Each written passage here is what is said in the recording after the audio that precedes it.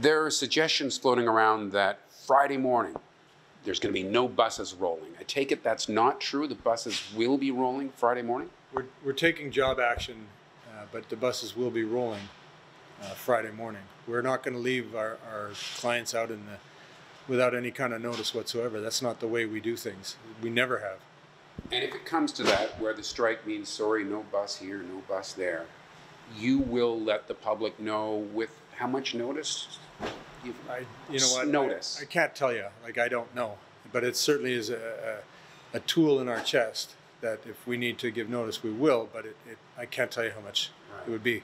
We're right now. It's it's job escalation is what it is. Right. Okay, so it starts with something minor in terms of disruption and builds. Well, that, that's typically how it works. But, you know, the issue is there's so many different erroneous stories going out there and so many different things that the city might be doing or the province is trying to do that we're hearing rumors about. It, this may cause a, an immediate escalation. So that's not what we want. But, you know, at the same time, we're in a strike position, a legal strike position, uh, as of 1251 today, and we can do whatever we need to do. But that's not our plan. Right. You know, the Okay. public, we care about our passengers, and that's why we're doing this. We're trying to fix the system. So, no immediate transportation disaster for people Friday, but you have you're in a you're in a position to strike, and this could be happening in the days ahead. It absolutely could.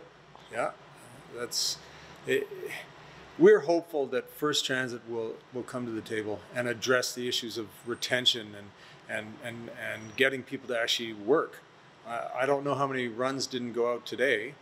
Uh, unfortunately, I'm here doing uh, doing business for the union, but uh, it's a regular occurrence. We need to ensure that the that we have enough people uh, to ensure that we have the buses to go out.